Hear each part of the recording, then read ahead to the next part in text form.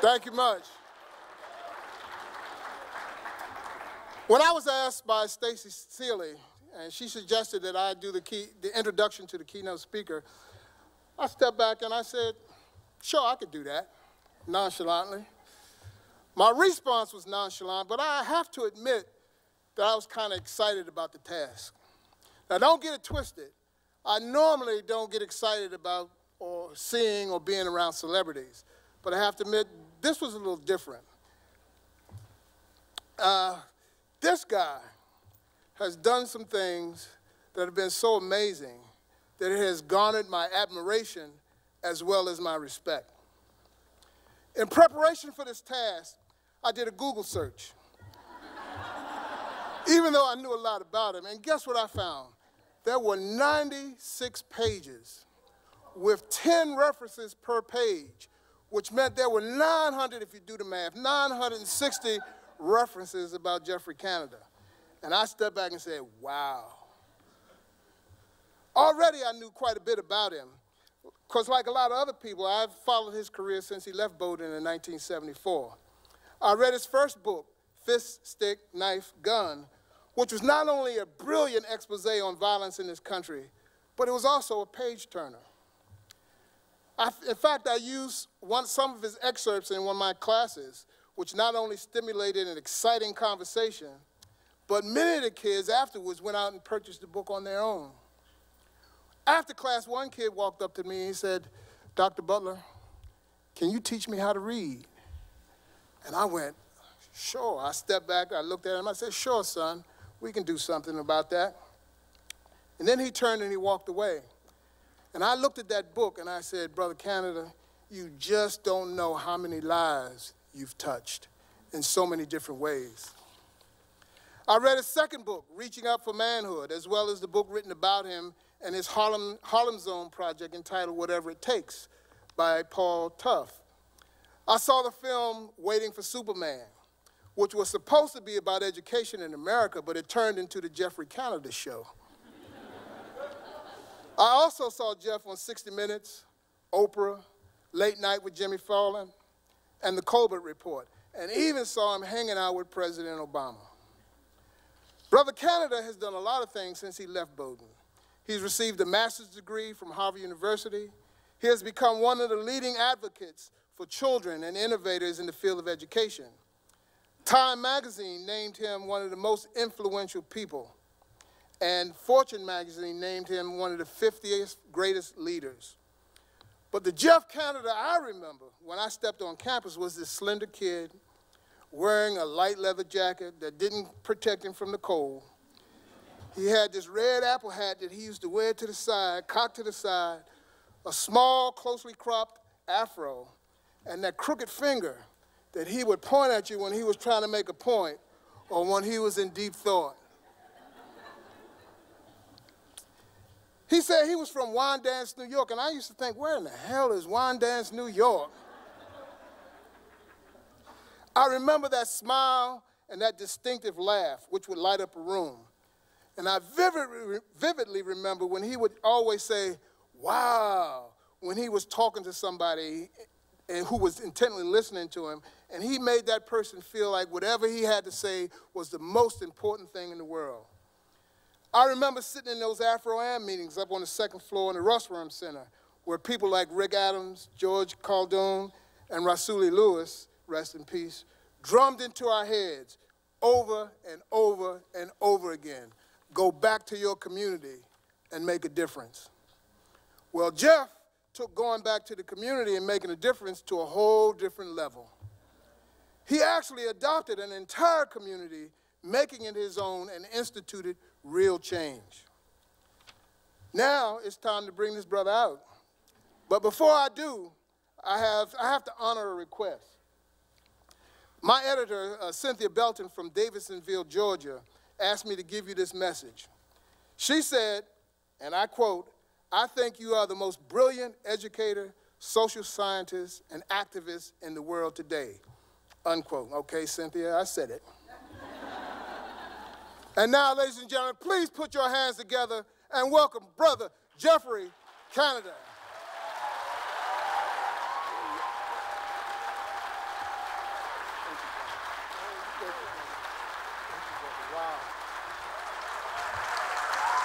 Wow. Mm. Ah. wow.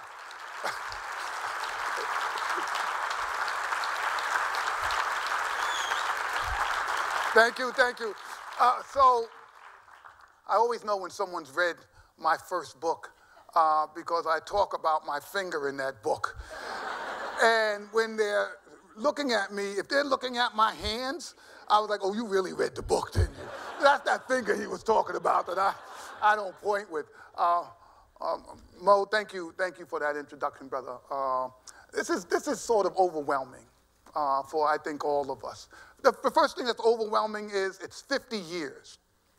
Now, it's not 50 years for me. It's only 49. but that's a heck of a number. And I just been thinking, boy, uh, I am back at the scene of the crime. Uh, so I'm, I'm, going to say a few things uh, today. Uh, but I have to, I have to say, Mo, um, I have a lot of honors, and you know, President Barack Obama's replicating our work when he was president, and it was the books and the other things. Uh, but, but let me tell you the thing that I was the most excited about the award was Fortune magazine. So Fortune magazine ranked me as the number 12th most influential person in the world, right? So I got a stack of those magazines, right? and I went home to my wife Yvonne. Now she's a Harlem girl. I've been trying to impress this woman for 25 years. I, I was like, I was like, honey, honey, honey. Wait, wait, open up, go to page 22. So she goes and she looks. She says, oh, okay. Couldn't break into the top 10, huh? really? Really? So, so I, I, have to, I have to tell you that um, if you have a, a, message and you want to get the message out, uh, for, for me, the 60 Minutes was uh, one of the shows that I thought was the most important. But it happened sort of accidentally uh, because uh, we were uh, one of the last shows uh, that Ed Bradley did at 60, 60 Minutes. So we probably maybe next to the last show before he passed away. and I knew Ed. I knew Ed through Ken Chenault. George and I uh, we go to a wine tasting that Ken hosts for us every year, raise money, and a lot of you know celebrities are there, and Ed Bradley was there. Um, and I used to tell my mother, "You told me drinking wine wouldn't amount to anything." we raised a lot of money for the Harlem Children's Zone at those wine dinners. All right, so I'm there, and Ed and I are talking, and Ed says, "You know, Jeff, we've never done anything on the Harlem Children's Zone. We should do something." I said, "Oh yeah, we should do something. We should do something." Uh, and so he said, so a date, he came up with a date. Now, this was the problem. So, uh, if you grew up when I did in the uh, 60s, uh, America was coming apart. Uh, we grew up in a time uh, when I was in the sixth grade, they assassinated President Kennedy. Before I graduated high school, they assassinated Bobby Kennedy, Dr. King. Uh, the cities were burning all over this country. The black community was literally coming down. Uh, where I grew up in the South Bronx, it was literally burning. All of it, we were living among rubble. And if you believed in social justice, there was one place you could go every Sunday, 7 o'clock, 60 minutes. It was the same format every Sunday. First of all, they had to find a scoundrel so arrogant that he could think he could come on national TV and lie, right? and I would always say to myself, it's the same format. Why do they think they're going to get away with this thing? Yet, there they would be on Sunday, and they would be doing the interview, uh, and Harry Reasoner would be saying, and I understand your company is polluting the rivers. And the guy would say, like, my company has never polluted the river. And Harry would reach in his pocket and whip out a picture of the guy dumping sludge, right? into, and I said, why do these idiots go on 60 minutes? And then they called me.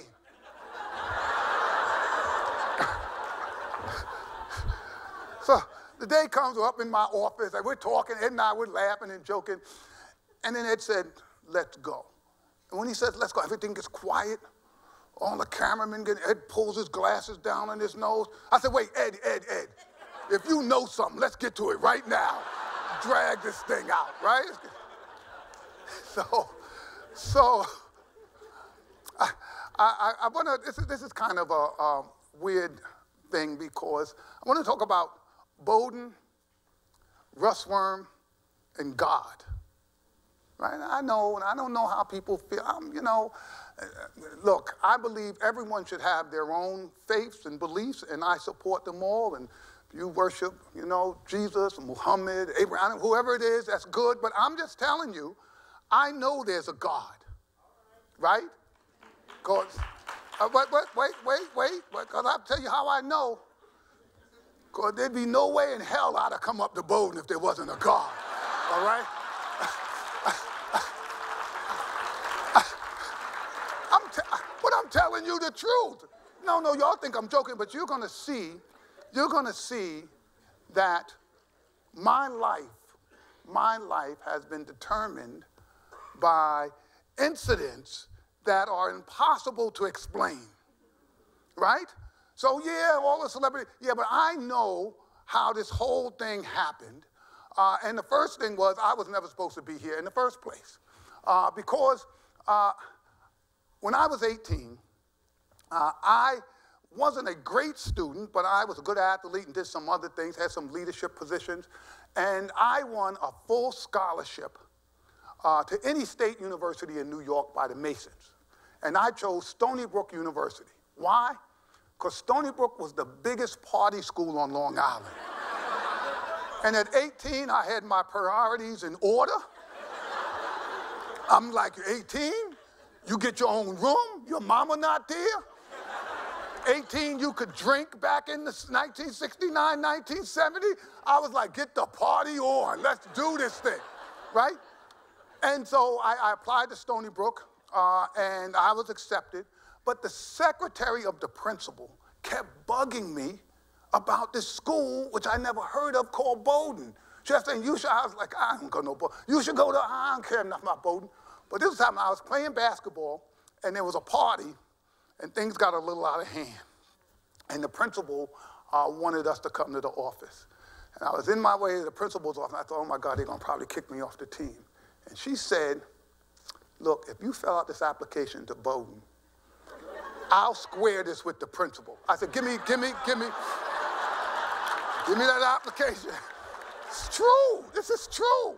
So I fill out the application, I send it off. I don't even think about it again. I mean, I get a letter from Bowdoin, I throw it in the drawer. I'm going to Stony Brook. I'm going to.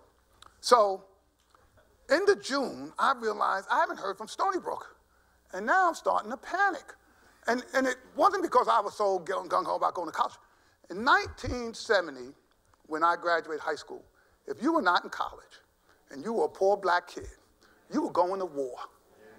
You were going to go to Vietnam, and I, I don't care what other people say, I had no interest growing up in a place that I felt like we were getting absolutely the worst deal in this country to go fight and die someplace. I had no interest in that at all. So now I'm thinking, oh my God, I call Stony Brook and they say, I'm sorry, we, we never heard of you. I said, no, no, no, I want a scholarship, a full scholarship. They said, no, we never heard of you. Then I said, oh God, I got to get in school. So I thought, oh, the only other place I applied. this is true. This is true. And so I I go, you know, you have, in high school, you have one of those junk drawers. You do all your old love letters and other stuff in there. You look into it, and there's the envelope from Bowdoin. So I open up the envelope. I say, congratulations. You've been accepted to the class of 1974. Please contact us by, I don't know what the date was, May 15th. I was like, uh-oh. I got to talk my way into this school. So I call up admissions. I said, hi, this is Jeff Canada. He said, hi. I said, you know, I'm, I'm just curious. I sent in all my, uh, you know, stuff and I.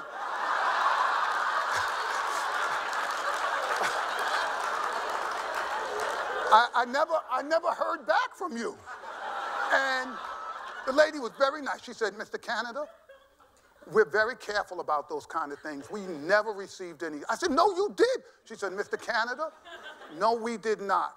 Now I'm desperate. Y'all are going to think bad about me now because I, I hate to admit this, but I decided to play the black card. So I said to her, so I said to her, I know you're just doing this to me because I'm black.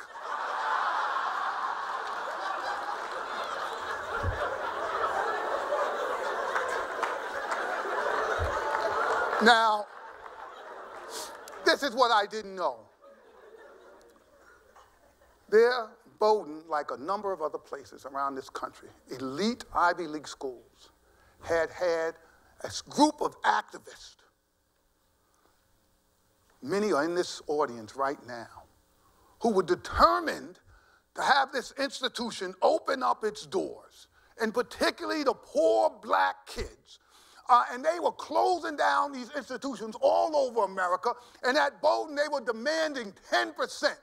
They wanted 10% of the class to be African Americans, and Bowdoin was scrambling. And so when I said, because I'm black, she said, hold on one minute.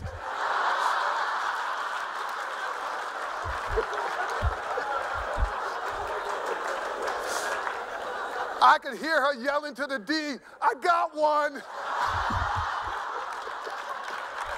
so, so, so I'm in. I'm in. And I'm thinking, this is great. I don't know anything about Bowdoin, but how bad could it be? I don't care. I'm going up there.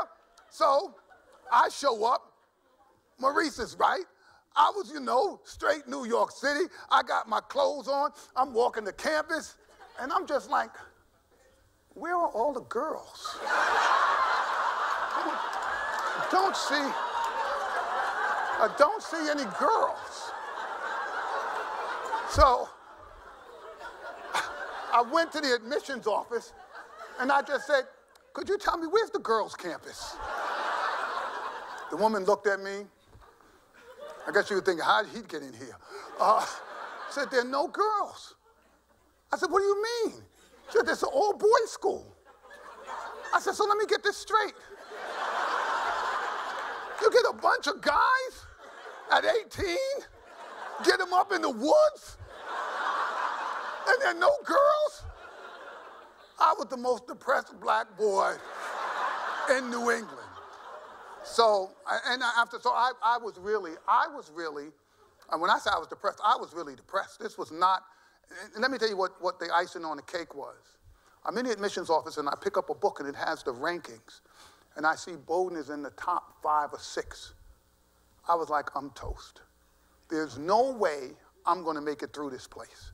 I knew, look, I knew I wasn't a stupid kid, but I hadn't been prepared to go into an elite institution like this. I wasn't ready for this thing.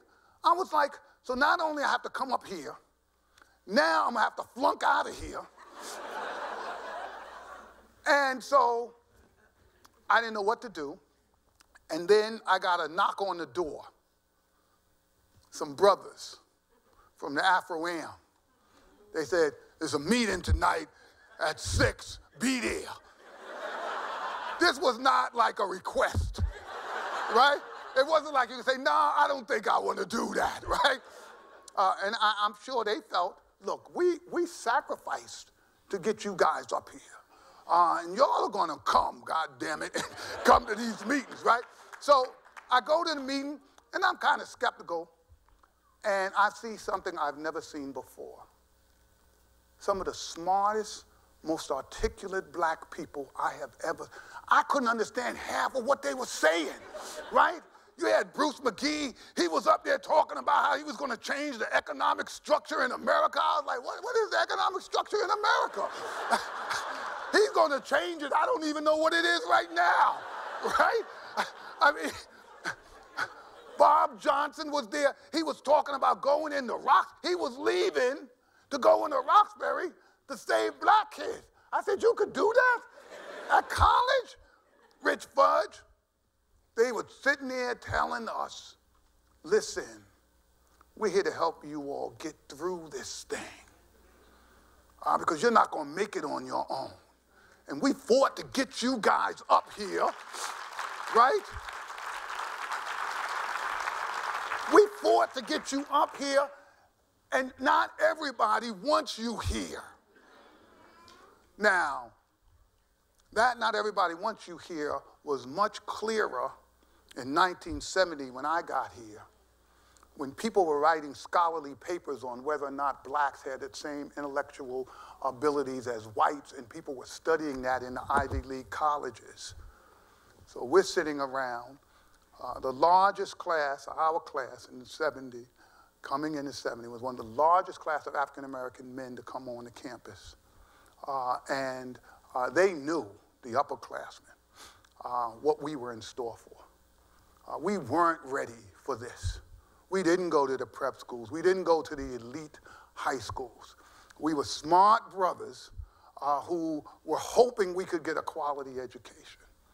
Uh, and uh, when I walked into that Afro Am and I saw them brothers and I listened to them, I said, How did they get like that? They said, That's what this place does. I said, This place take a guy like me and turn him into a guy like that. He said, Yeah, if you can make it four years, it will. My mother called me three days later. She said, Stony Brook called. she did. She said, and they, they wonder, where are you? Uh, are you coming? I had full, full ride, tuition, room, board, books, everything. I said, nope. She said, why? I said, because there's something going on up here, and I want to be part of it. And I don't know if I'll make it through this place, but if I could end up like those brothers right there, uh, I would give anything. Uh, because this wasn't just about the individual, uh, it was about the collective. There was so much talent. I mean, look, look, I wanted to be as good as any of them in any area.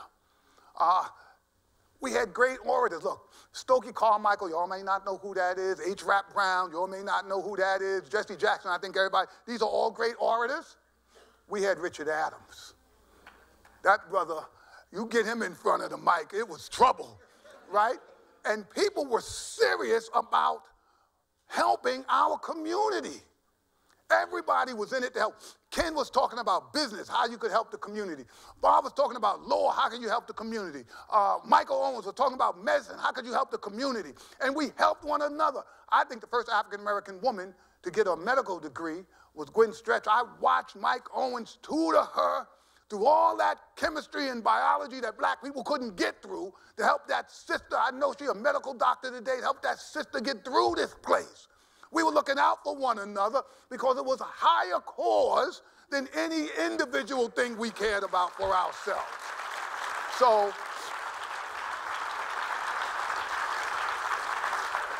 I wanted to be part of that, right? I wanted to be part of that. And I knew there were people here uh, that could help me. Uh, and the only question was, could I get through? Now, Bowdoin was not an easy place to get through then. It's not an easy place to get through now. Uh, but I learned some things at Bowdoin that last to this day. So here's one of the first things I learned. I thought I was pretty smart. High school, I knew I didn't have a lot of technical stuff. I thought I could get that cleared up. But when it came to reading and stuff like that, I was like, no, no, I'm good there. So I came up as a freshman and I wanted to take a religion class because um, there was this issue in our community. I felt it was falling apart and I felt like part of the spiritual soul of our community was being destroyed. And I wanted to know more about religion. So I was going to take a philosophy of religion class. And the brother said, No, no, Jeff, don't take that class. He said, Those kids are smart. I said, No, I'm smart. He said, No, those kids are really smart. I was like, Well, you don't know me. You're telling me I'm not smart. I took that class. So I'm going to Moulton Union, that's where the bookstore was, and I'm getting books. And in the reading list, it was 13 books. It was 13 books. I was like, you can't have no 13 books for one semester. So I went to, I saw another person in the religion section. I said, excuse me, how many of these books do we have to get? He said, you have to get them all. No, no, how many are we going to read? oh, no, we're going to read them all. Like, you're not going to read no 13. I was like, see, they messing with the black kid now, right? right? They don't want me to get in, so they saying all of They're smart and then they're smart. Some of these religion philosophers, we'd see them walking around campus, they didn't have shoes on, right? didn't, look, didn't look like they took a shower the night before. Hair. These guys, they were so brilliant. I mean, look, I sat in that class. Half the time I didn't know what was going on. I, will just give you a quote uh, that uh, Paul Tillich, right? This is stuff that we used to read in philosophy of religion. Uh, Paul Tillich wrote, The courage to be is rooted in God, who appears when God has disappeared, in the anxiety of doubt. What the hell does that mean? I mean, I'm 18, I'm reading stuff like this, and everybody else is having deep conversations about it. And I'm like, what, what, what's going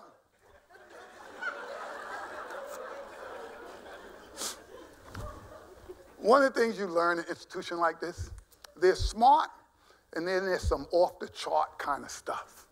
Uh, and I began to appreciate uh, the uh, real diversity of intellect because people could be brilliant in some areas, but boy, they weren't brilliant in all areas, right? And you realize, but, but the ability to deal with that, uh, as uh, George folks they know I always try to hire people smarter than me.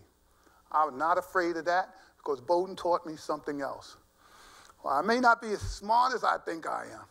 I wasn't as dumb as I thought I was either. right? So I was a psych major. Uh, it was only other one other black psych major I knew uh, when I was here. It was Greg McQuater, who was majoring in psychology when I was here. Uh, and uh, I saw my professor, uh, Al Fuchs, who was here, who was still in charge. He was the chair of the psychology department, and I was here. And my junior year, I'm doing psych, I'm doing fine in psych. My junior year, we had a visiting professor from Princeton. It was a woman who was teaching the perception class, which was a requirement. So I'm sitting in perception class, and she's teaching. None of us had had her before. And I just couldn't understand the concepts. So I raised my hand, said, Excuse me, uh, Professor, could you go through that again? And she said, Sure. She went through it. Ten minutes later, I was like, I raised my hand again. I said, Excuse me, I didn't get that part. Could you? She said, Sure. The third time I raised my hand, you ever have one of those professors look at you like, You again? right? And I'm looking, at, I'm the only black one in the class. And I know what everybody in the class is thinking, oh boy, how did that guy get in here, right? So, so you know what I do? I don't say anything. I don't say anything. I don't understand, but I'm now, I'm humiliated and I don't want anybody to know, right? I just can't follow. So I don't say anything. So we have the exam. The professor comes back in the class and she is livid. And she walks in that class and said, I cannot believe this. Not one person in this class passed this exam. And I said, wait, wait, wait, wait, wait. None of y'all understood it? Right? Right? And you let the black guy keep asking the questions?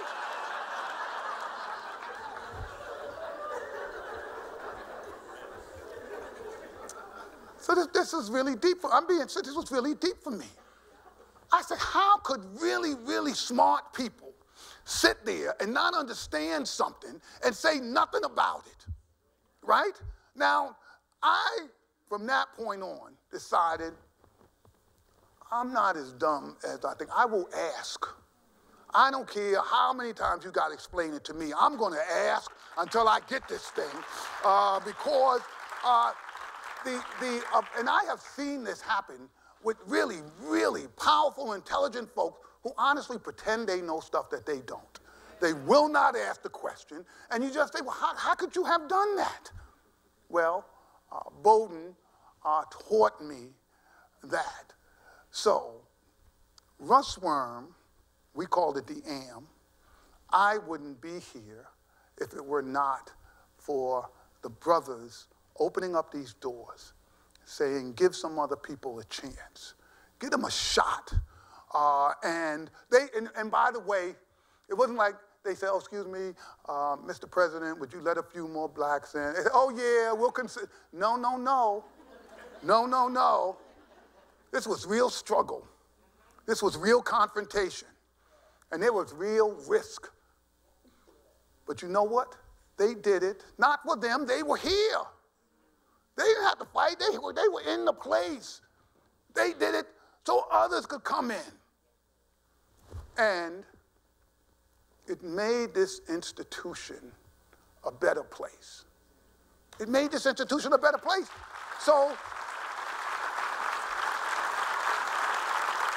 now, we're going to get back to this God thing, right? Okay, so now, finish Bowdoin, done with Harvard. I'm working in Harlem in a place that's falling apart, right? It's just falling apart. And my kids are dying on the streets. And uh, I'm just like, I, I got this plan, but I need some help. I need some really, really smart people who are, who are unafraid to go into combat with me right? Because it's going to be a struggle. And most folks, they, they talk a good talk, but when it really gets serious, they're not going to be with you. So I was just thinking, but I don't, I don't have it. I didn't know anybody, I didn't have anybody. And then Bob Johnson, uh, who's, who's a lawyer, went and got his law degree and do it. He also became a playwright, right? Such a Bowdoin thing, right? right? I mean, you know, just show off, why don't you, right? So he has a play, and his play is in Boston now. I'm living in Harlem, my wife and I. We're in Harlem. Uh, I'm going to go drive up to Boston to go see the play. So, but I had to stop by my office first before I drove up on Broadway. And I'm driving up Broadway, right past Columbia. I stop at a light, and who's walking across the street? George Khaldun. I said to my wife, honey, honey, honey, that's George X. That was his name then. Let him explain it, right? That's, that's a different thing. And, and I was like, no, no, no, I know him. That, I, I pulled the car over, I went out, George. What are you doing here? He's like, No, I just graduated from Columbia School of Education and I'm off and I want to help black boys. I said, George, I got a job for you. He said, Well, Jeff, I really want to teach. I know you could teach. Come with me. I wasn't always 100% honest. I know Ken probably has a problem with that. But, you got to do what you got to do, right? So this is what I knew about though. Y'all have to understand. When we had Bowdoin, uh, there was one person who was up every morning. And that brother, he didn't drink, he didn't smoke. Uh, when all of us was kind of hung over at breakfast, who would be there? Eyes bright and shiny. It'd be George Khaldun. That guy, he, he had energy that just never, he was like the ever ready bunny. That guy just never stopped. And I thought there was nobody who had more experience in our community uh, in our community than George Khaldun. Uh, you know, George the only one I knew who knew Malcolm personally. Uh, I'm talking, this some deep stuff. So I stopped. I was like, what are the chances that in, uh, on a, just a regular day, I would be driving up the street and across the street would come George Khaldun, the person who I needed to be able to do this work. Some of you might say it was an accident. I, I, too many accidents.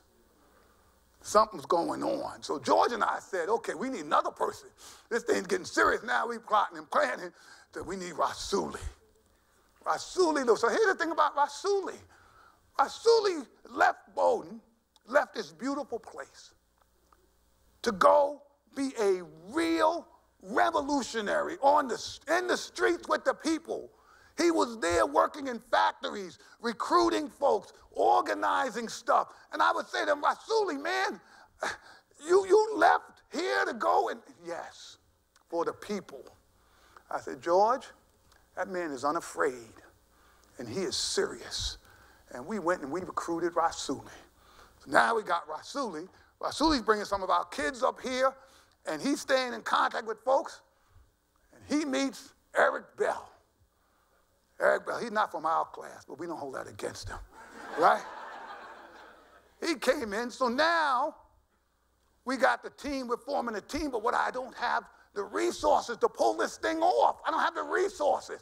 So I was saying to George, look, George, uh, where are we going to get some of the resources? So he says, well, uh, Bowdoin was, was giving me the Common Good Award. I was going to go up to Bowdoin to receive the award. He said, well, maybe you could meet a trustee. I bet some of those old white men got money.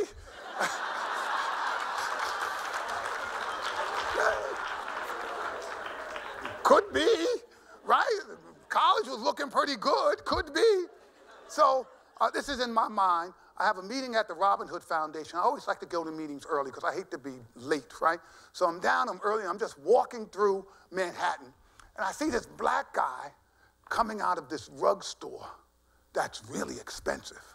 And he catches my eye because I would think, damn, that brother got to have some money. Because he was walking out. See, I walked in the store, I'd be walking in. He was walking out like he owned the place. So I was, I was walking.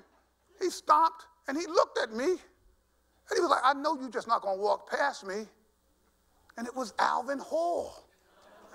It was Alvin Hall. I was like, Alvin, what are you doing? He's like, I haven't seen, I hadn't seen Alvin in 10 years. What are you doing? I told him what I was doing. I said, well, yeah, I'm having a hard time finding money. He said, well, you, you know anybody? I'm going to the Bone. He said, well, do you know Stan Druckenmiller?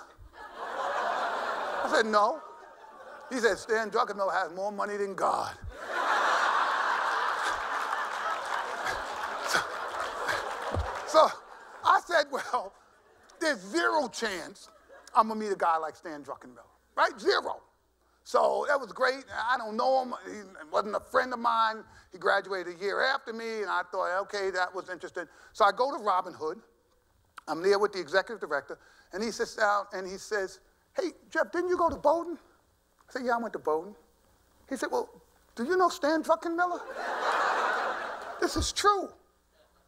I said, in the span of 45 minutes, two people mentioned the same person to me. And he says, uh, he just joined the board, and we're all coming up to Harlem to visit your site. Uh, and I just wanted to know if you guys, I said, no, I've never met the man. I go back to George. Rasuli, I said, something going on here. I said, because this is too weird for all of this to be happening all at once. And so the site visit comes, Stan is there, and he, he tells the story. He's like, so what are the chances of me walking into some raggedy school on 144th Street in Harlem, visiting what they call the best program, and there are literally four African American men running the place from Bowdoin. what are the chances of that? Like none. So he says to me, Hey, you ever go off the boat? And I say, Well, you know, Stan, it's funny you would say that. Next week I'm going up because I'm getting the first Common Good Award. He says, Oh, how are you getting there? Second lie. I don't know.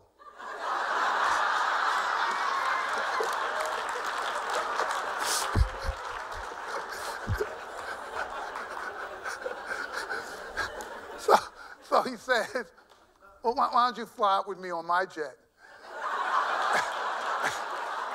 I say, there's, a, there's a little problem because George and Rasuli and Eric, he says, Jeff, I have enough room for y'all.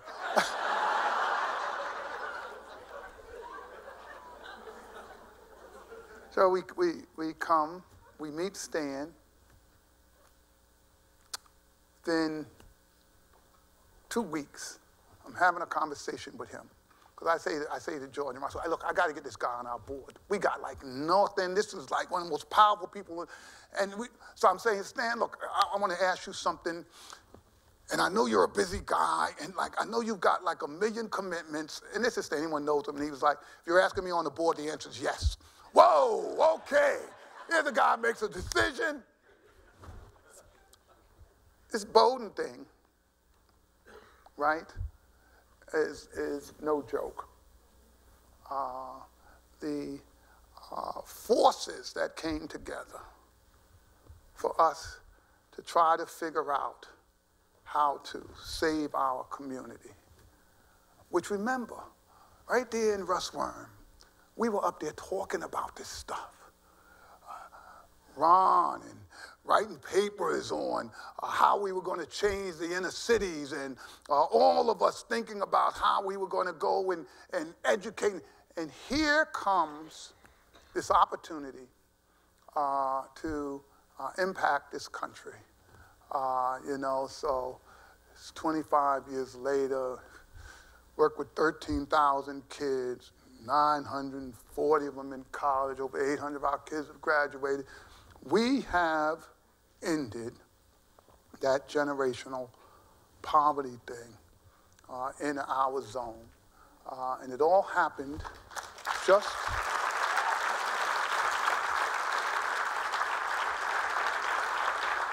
It all happened uh, just a few yards from here uh, when some folks decided that uh, they were going to make this place more hospitable and more open to diverse people. Uh, so, Bowdoin experience has changed me, and uh, it wasn't, you know, when I, I was uh, watching uh, the president talking with Ken, and he was talking about professors. I had these profound relationships with professors here. That was, they just, they were personal relationships uh, that, that uh, included not just classwork, but after school. Uh, and when I received the Common Good Award, I told a true story. And about Paul Hazelton, who was our education. I think Maurice and I took, I took every class the guy offered. They didn't have an education major at Bowdoin at that time. So I took every class as a minor. Uh, and Paul, uh, he was just this really, really caring, smart, sophisticated guy. He said something to me which uh, I, I tried to argue with him because I was saying to him how I admired him. He was so smart, so well written. Uh, and he said, Jeff, you're going to do much more in education than I have done. And I thought, hey, that's nice of you to say, but that's not real, right? Uh, but uh, he said to me one day, he said, Jeff, I, I, want, I want you to come with me. I said, great, where are we going? He said, just come. He took me for a long drive, and we went uh, to this stream. It's right in the middle of a city. I don't know what city it was. I didn't know much about Maine. And he said, just watch the salmon. He said, you see the salmon? The salmon were running down the stream.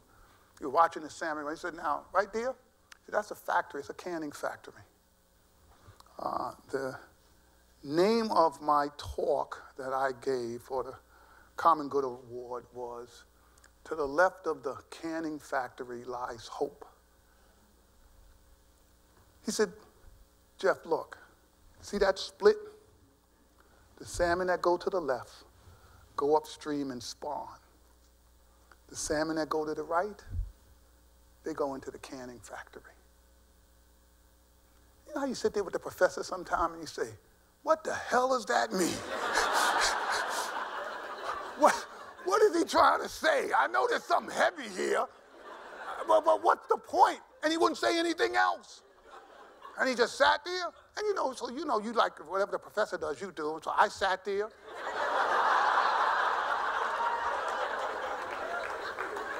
and we watched those salmon.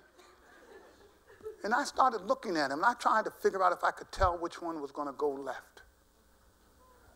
And it suddenly hit me. Pure luck. Some people make it, some people don't. Pure luck. But black people aren't salmon. We shouldn't, just by luck, end up having our lives destroyed. We shouldn't just, just because, just because nobody is willing to stand up and say, you're going the wrong way, you're doing the wrong thing, that's going to lead you to destruction, and there's a way, there is hope this way. If you go to the left, there is hope who is standing there directing the people to the hope in this country? Well, I'll tell you what. I'll tell you what. That's what Russwurm was for. We came here. Those upperclassmen knew we weren't going to make it out of this place without some help. Someone was going to have to direct us to where hope led This institution is as important today as it was when it was created 50 years ago. Anybody thinks that we don't need a signal to all those people who can't fit into places like this, because they don't have a support group. They don't have anybody to show them the way. They don't have anybody who's going to take care of them. They haven't been in America. Wherever you go, I was talking to a young sister from, my parents came from Mexico, and I was asking her, Do you have your people here? She said, I don't have my people. I don't have my people. No one else is here but me. And I said, But that's what we were trying to do with Russwurm. We wanted a place where you could find your people. And there's nothing wrong. People always worry, you know, we want folks to integrate. No, I'm good with that. All that's good. But I wanted a place where people saw me for who I was and knew what I was going through, and so they could help me. That's what I needed. And then everything else is good. So uh, this, is what I, this is what I want to close on for the Bowdoin folks, because this, this, I honestly believe this. When you're here and you find your people, there's nothing that you can accomplish. This education is a serious thing. And some people didn't take it serious. I took it very seriously. I thought the answer to what was happening in our communities was right here on this campus, and I had to find it. And I took every class that even had an inkling that it might get me there. I don't know how many people it takes to change the world if you went to Harvard. I don't know how many people it takes to change the world if you went to Middlebury, Swarthmore, Princeton. But I know me, George, Rasuli, Eric, Stan, Ken Chenault. Six people from Bowdoin could change the world. Thank you all very much.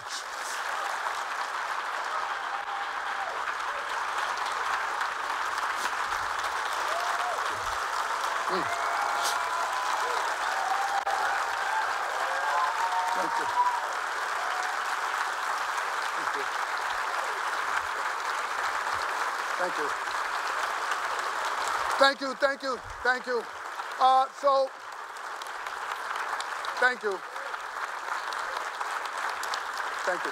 So uh, we have some we have some microphones up, and I invite you to ask questions. I will warn you, like I warn everybody, I am very opinionated. I might not be correct, right? So just keep that in mind. You can ask anything you want. Uh, feel free, come up. Who's first? Here we go. I know we're going to have a just really a courageous sister coming up. Hi, my name is Karen Hines, class of 93. It is great to hear this, and I remember when I was here at Bowdoin, having you and uh, Alvin and so many other the men who were in that era came up and talked to us. It was absolutely inspiring. My question is this. As a woman at Bowdoin, yeah. and now that you've left Bowdoin, we want to give advice to those who are here. But I think for women at Bowdoin, we're still struggling, and those who've left to find our place yeah. and make those connections uh, that would help advance us. What is your advice for, um, you know, especially those who are from the inner city who come yeah. to Bowdoin? We don't understand always the networking piece. And by the time you graduate, you've missed the opportunity, and then you try to reconnect, and then it's a, a still a hurdle. So, what advice would you give to those who are currently here? And those who are still trying to make their way post Bowdoin to experience that Bowdoin thing you talk about? That's great. That's a great question. And uh, so, so here is uh, one of the challenges when uh, you're coming to an institution uh, that you struggle with fitting in and, and, making it, and it takes so much just academically to make it, uh, and all the social stuff. Uh, one of the problems, I think, becomes that uh, you don't uh, have the time uh, to make the kind of connections uh, that uh, you can create for when you're not here. Everybody's so interested and worried about getting out of here, right? But you're not actually thinking some of the folks that are here right now, you need to know before you get out of here. Uh, and it's hard because uh, part of the networking that goes on uh, is, uh, you know, fitting into a group uh, that you feel comfortable about. Uh, I used to tell folks one of, the, one of the best things I learned at Bowdoin uh, was they, they used to have these wine and cheese parties that I thought was really a party, and it wasn't, right? As far as I was concerned, it was drinking some wine I didn't like uh, and standing around talking, right? Uh, but I had no idea how valuable that was uh, because that's how so much gets done. Uh, and because I was shy, I felt insecure, I, I didn't dress right, I didn't have the right, it was hard to just go in, right, and, and just strike up a conversation and, you know, smile and be friendly and all that kind of stuff, because that wasn't the way we did it in the South Bronx, right? We just weren't like open and friendly and other.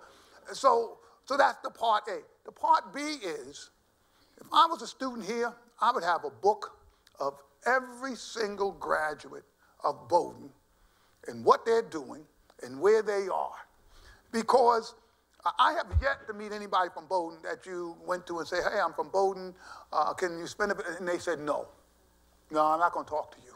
I don't want to deal with you. Uh, but the ability to actually go and do that, I mean, because, you know, uh, we're afraid of hearing no, right? No, I don't want to do that. You're afraid someone's going to say, oh, you're black. I don't want to deal with black. So it, it stops us uh, from actively going out and engaging. I'll tell you a quick story about uh, sort of this issue of no and sales and other things. A, a good friend of mine, Ken Langone, he's founder of Home Depot, was on our board. George and I know Kenny well. Uh, and he was telling a story of a friend of his who was selling, right? They were selling hardware before they did Home Depot. And they were selling hardware, and you had to go out literally with uh, a package of stuff, and you'd carry your case around and go into different hardware stores. Uh, and one of their best salesmen uh, went to this large hardware store, and he was trying to sell, and the guy said no. And he came back the next week, and he said, "Oh, I'm," and the guy said no. And then the third week, the guy said, "Look, I have to tell you something. I hate your boss. I hate him with a passion, and I will never buy anything that he produces. The guy said, okay, left. The next week he came back. And the guy said, I told you I hate your boss. I'm never, why are you here? He said, my boss told me if you're going to be a good salesman, you're going to have to hear no 5,000 times. and I know every time I come here, I'm going to hear a no. And I thought about that. Our fear of hearing no stops us from going again and again. Someone says no, you're like, I tried that. I'm not, it didn't work. Uh, don't give up. Make, I always tell folks now when I'm asking them, make them tell you no. Come back with that story. I went to 25 folks and went to Bowdoin after help. All of them told me no. Come back and see what happens. Oh, there's going to be some, some change going to happen if we start hearing those stories here. So I'm just encouraging you. It's hard. Go out actively seek those relationships. Yes, it's much easier when you've been uh, sort of born into uh, that circle. You're comfortable, you know one another. It's harder when you feel like an outsider. Uh, but you just got to think, make them tell you no, please. Hi, good evening. Uh, my name is Nicole. I'm from New Jersey. I wondered what are the challenges in replicating the model in other communities that are mirrored, such as like a Newark or a Camden or even a Philadelphia? Yeah. The, the biggest obstacle, there, there are two really big obstacles. One is that you can't do this by yourself, right? You have to have a real team. And as George used to tell people when he would go out and they'd want to replicate our work, one of the first things George would say, uh, you want to work weekends? You want to work Friday night? He's like, no, no, you can't do this. This takes a real commitment uh, where you're loving what you're doing and you're prepared to do what we say, whatever it takes, is what Paul Tough called the book. So that's one issue. And you can't just be one or two people. You've got to have a crew of folk, uh, 10, 15 really serious people to pull this off. The other big uh, obstacle is resources. Uh, this is not something that's going to cost a million or two million dollars a year. Uh, you're going to have to be thinking, how can I put together 10 million dollars, 15 million dollars, 20 million dollars a year to do this work. Uh, and a lot of places are resource constrained. And a lot of uh, the foundations and others don't, they won't make that kind of an investment, right, in community. But I, I will tell you, uh, part of what's going on is uh, people think about some folks in our country differently. Some people are worth investments, and other people are not. And I was at Harvard. I was, I was at Harvard and at the Kennedy School, and I was lecturing to a bunch. They had me lecturing some classes. And really smart uh, young man said, "Excuse me, Mr. Canada, uh, your program costs uh, $3,000 per year per child, uh, and is that scalable and affordable?" Uh, and I said, oh, "Can I just ask you something? How much is tuition here at Harvard?" So he kind of chuckled. I said, but I thought you all were the smartest people in the country. Why does it take $60,000 a year to educate the smartest people in the country, and you're asking me about $3,000 to educate the poorest people in the country? I don't get that, right? So, this, this is really about who we value and what we value. And those same kids you don't want to spend $3,000 on, in New York State, you put one of those kids in state jail, it's $60,000 a year. Now, what is that about? See, this is where we were back in the 70s. This whole conspiracy thing. Don't get me going. I'm going to be good. But something not right about that. And I, will tell you this in New York City, you all got your phones, look it up. New York City jail, $160,000 a year. Look it up. Now, why is it we're willing to pay that for, and what is the outcomes you get? You know what kind of outcomes we have to produce for that $3,000? After all my kids have to graduate, they all have to go to college, they have to be healthy. Have to, what do you get for $160,000? You get nothing. Safer community? No. People take care of their families? No. People able to give a job? You make sure they can get a job. We're totally willing to pay that no one's um, getting crazy over it, talking about you can't afford it. It's a values thing. Ken talk about our values, a values thing.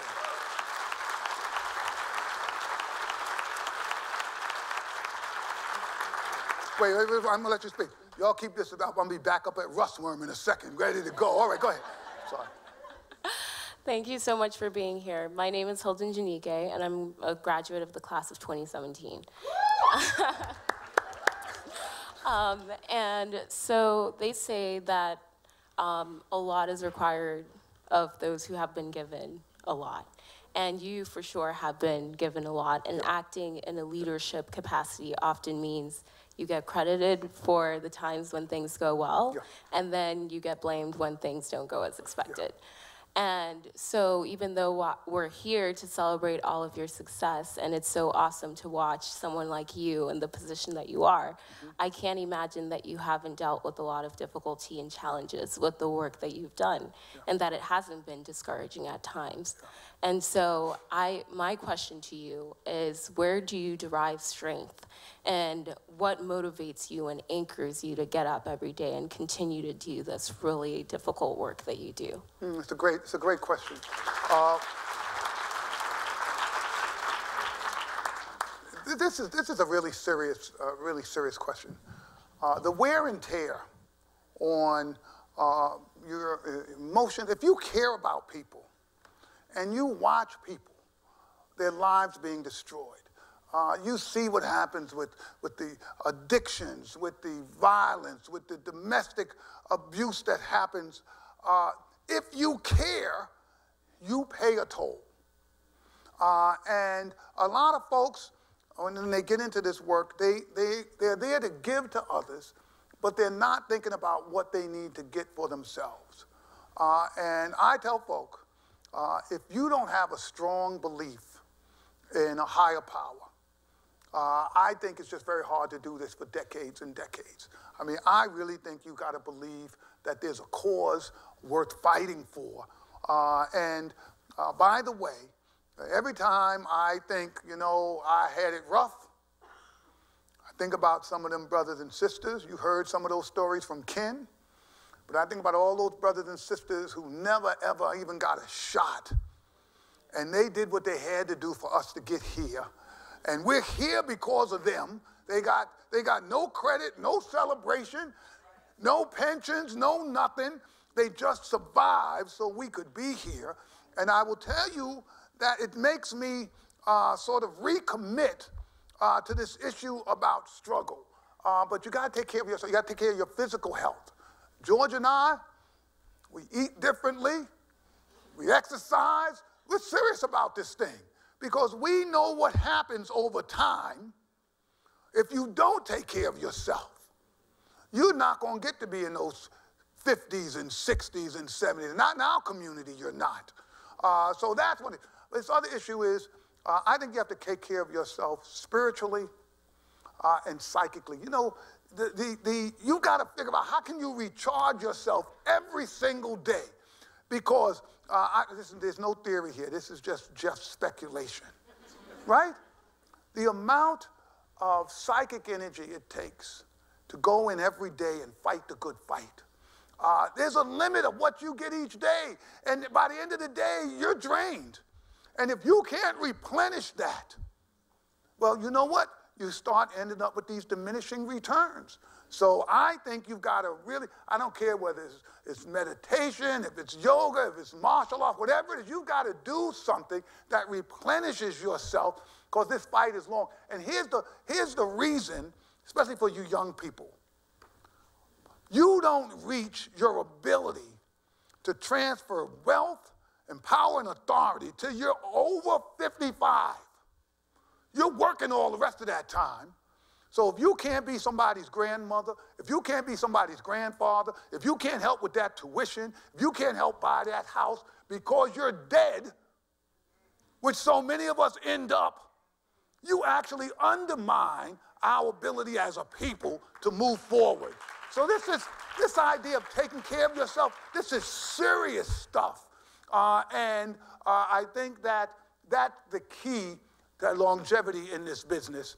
Uh, and we need you all to be doing this for a long time uh, because we have a lot more work to do uh, in this country. So I see we're at the end. Uh, thank you all very much.